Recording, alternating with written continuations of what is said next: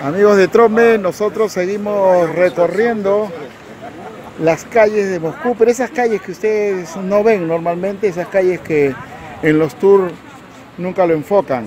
Esto no es eh, ni la avenida Argentina, ni es el cruce de la avenida Grau con aviación.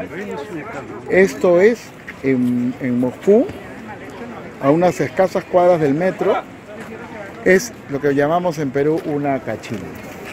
Acá encuentra usted todo tipo de artículos, esos que van a llevar. O sea que si un amigo, si un amigo le lleva un recuerdito para la casa, es que la compró acá.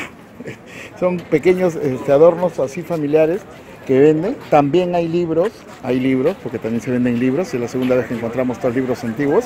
Estos libros de los años 70 donde eh, se habla este, temas netamente sobre la ideología comunista y donde se descarta también al capitalismo, cosas de eso. Y lo típico de Moscú, miren ustedes está acá. Eh, están, se venden todo tipo de, de, de, artículos artesanales, también adornos para casa. Y la gente concurre en cantidad, miren ustedes.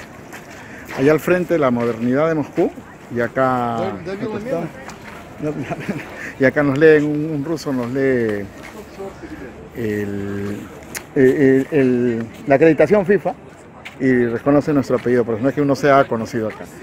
Estas eh, son las gitanas, son gitanas que están vendiendo cosas, eh, como les digo, adornos, que se venden mucho más barato. Miren, acá la clásica es que los dueños de esto eh, vienen en sus camionetas, estas camionetas modernas, y vienen cargadas de su, eh, de su, de su mercadería y venden acá. ¿no? Acá también tenemos eh, zapatos usados, camisa, ropa de segunda, como decimos, y se prolonga hasta el lado derecho, antes ya de, de ser este. Acá Giancarlo nos está acompañando, nuestro fotógrafo, hoy día también, y está aprovechando para hacer unas compritas también.